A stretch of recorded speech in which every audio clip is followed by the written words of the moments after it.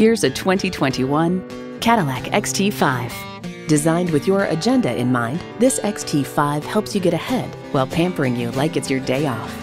It comes with the features you need and, better yet, want.